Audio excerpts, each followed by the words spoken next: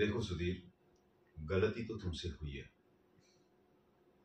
नहीं, हमारे family business में एक बार माँ जी ने जो कह दिया, वही तो होते आया है।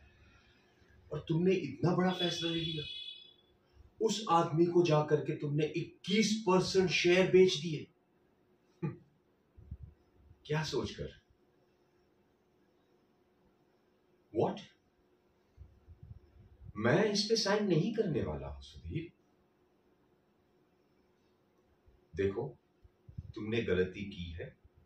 अब चुपचाप जाओ, जाके ये पैसे उसे लौटा दो और हाथ जोड़ के माफ़ी मांगो यही हो सकता है मैं इस पे साइन नहीं करूँगा। Clear on that